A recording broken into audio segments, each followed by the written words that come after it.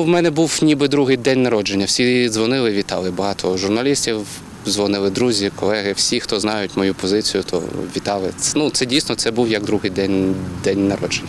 Так, хмельничанин Олексій Голенчин говорить про день, коли в Хмельницькому зняли з постаменту пам'ятник танк. Монумент він називає символом радянської країни. Це нібито шана радянським воїнам, які в тому числі і в Україні виконували і окупаційні функції.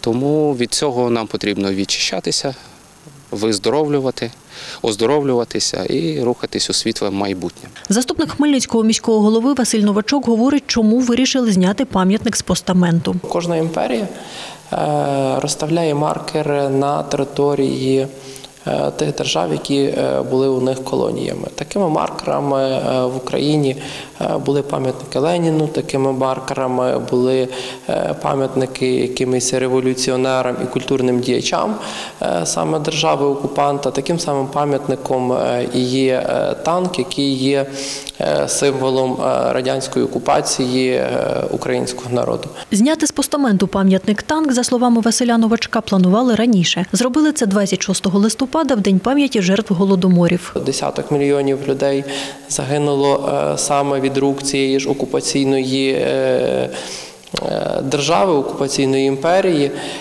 і власне прийняли рішення саме от в знак е, того демонтувати його е, в день пам'яті. Пам'ятник танк з'явився в Хмельницькому в 1967 році на перехресті нинішніх вулиць Проскурівська та Свободи. За словами заступниці начальника управління культури Хмельницької облдержадміністрації Валентини Лукашук, він є пам'яткою історії місцевого значення. Це танк Т-34. А Він використовувався, такі танки використовувалися у Другій е, світовій війні, зокрема у битві під Сталінградом. Саме оцей танк Т-34 він е, є такою е, хрестоматійною версією, тому що його використовують всюди як е, один із найкращих танків ХХ століття. Це один із зразків, які варто все ж таки зберігати.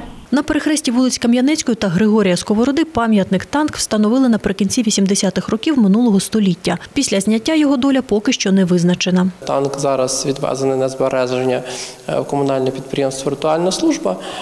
Вони є балансоутримувачем цієї території. Е, Доля подальша танка буде визначатися пізніше. Певний час він буде зберігатися саме там. Ярослава Антошевська, Юрій Чорний. Новини на Суспільному. Хмельницький.